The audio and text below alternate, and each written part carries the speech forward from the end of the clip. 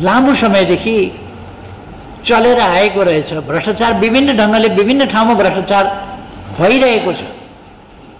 त्यसलाई ढाकछोप गर्ने त्यसको सम्बन्धमा नबोल्ने आदि प्रयासहरू पनि भइरहेका छन्। अथवा त्यस सम्बन्धमा कुरा उठाउनु नै भ्रष्टाचारका विरुद्ध कुरा उठाउनु नै अपराध हो कि जस्तो पनि भइरहेको छ।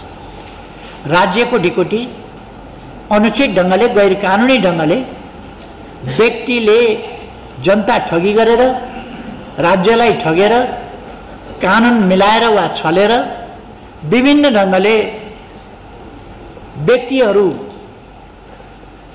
हातमा राज्यको ढिकुटी हस्तान्तरण गर्ने भ्रष्ट व्यवहार। सही व्यवहार होइन। मूल्य मान्यता एथिक्स नैतिकता त्यस अन्तर्गतको होइन। कानुन बमोजिमको होइन। पारदर्शी होइन। अपारदर्शी गैर कानुनी ठगी र विभिन्न प्रकारले कानुनको आँखा छलेर व्यक्तिगत वा गिरोहगत रूपमा क्रियाकलाप गर्ने र राज्यलाई गम्भीर नोक्सान पार्ने खालका कामहरू भइरहेका छन्। यसको सन्दर्भमा अहिले रोक्न नसकिने गरी रोक्न नसकिने गरी एउटा यस्तो परिस्थिति निर्माण भयो। रोक्न नसकिने गरेको परिस्थिति त्यसो भएर भ्रष्टाचार सत्तामा आयो।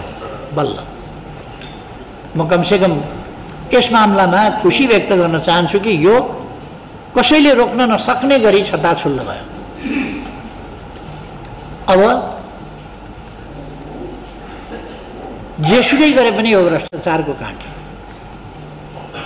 सत्तामा आइसक्यो